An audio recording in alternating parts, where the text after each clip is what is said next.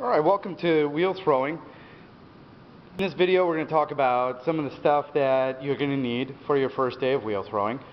Um, the first thing is you're going to need a little bowl, not too small, not too big, you don't want it to take up too much space on your um, wheel. And you're going to need your name on the side of it, your hour number is helpful too. That way if you forget it or you leave it out, I know who it belongs to and we can get that back to the right person. Um, I find it immensely helpful to have a, a, dryer towel. You know that our towels are not very absorbent here in the classroom. It's not good uh, to have one of those close by. It doesn't really dry much. So uh, this is an old towel I got from home. Um, your tools. You're going to need all the tools that I gave you at the beginning of the semester. Please clean them off. I know they haven't been cleaned in a while. You guys like to have dirty tools.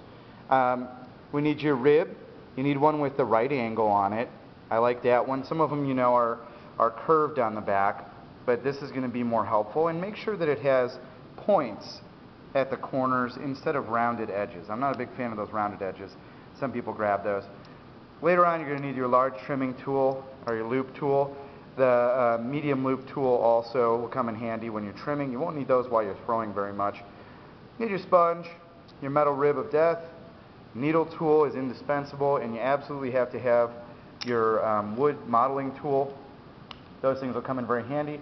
A couple of other things, um, if you have any jewelry on, you can see that's what it's going to look like when you're done.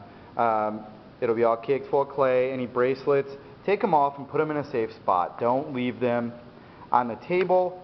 Uh, anyone walking by could mistake it for their own. Jewelry tends to grow legs and walk away.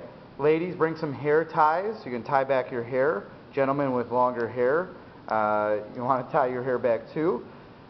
And unfortunately, uh, you will have to, if you have long nails, trim those babies back so that they're not longer than your actual fingers. If you can see them from the back, uh, I guess that's the back. If you can see them from the front, trim them down.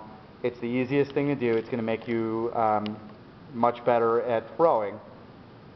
And on our first day, we're all going to watch a quick demo from me, and we're going to sign up for a wheel. I want you all to be at one wheel um, for the duration until you get good enough to start switching wheels. So that's the things that you need to get started. Please have those ready when you come in on the first day of throwing.